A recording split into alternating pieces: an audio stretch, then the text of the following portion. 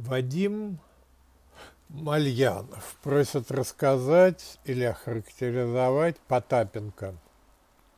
Ну, замечательный эксперт, я с ним вместе участвовал в нескольких конференциях. Интересный человек, он ведет какую-то передачу на «Серебряном дожде».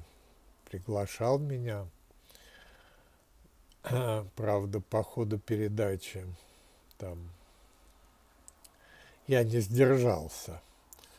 Да, но это не мат, конечно, был, но это было крепкое словцо. Что там говорить? И тут же прервали передачу. Все, все, все, больше не надо. Ну, не надо, не надо. Он а, а, интересный человек. Я его слушаю иногда, часто. Мне нужны его оценки один из возможных взглядов. А его относят к либералам, к политическим деятелям. Это не совсем так.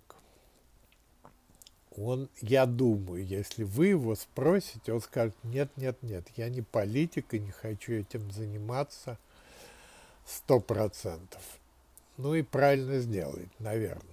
Он эксперт, и в качестве эксперта он интересен и даже пропагандистам, даже пропагандистским каналам, потому что известный закон пропаганды для того, чтобы она как-то воспринималась, там 40% информации должно быть правдивой.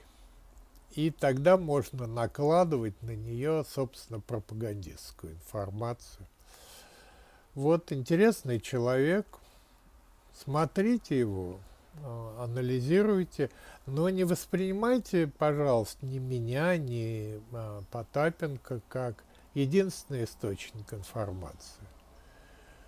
Это необходимо диверсифицировать, слушать разных, многих вот мусор всякий, конечно, не надо слушать там какого-нибудь там Михалкова или Володя Соловьева. Это чистая пропаганда, дезинформация. Вот мусор э, для головы, как здесь говорят, джанк. Вот, не надо их слушать, не тратьте на это время. А нормальных, адекватных, вот таких как Потапенко, экспертов, конечно, надо слушать и разных.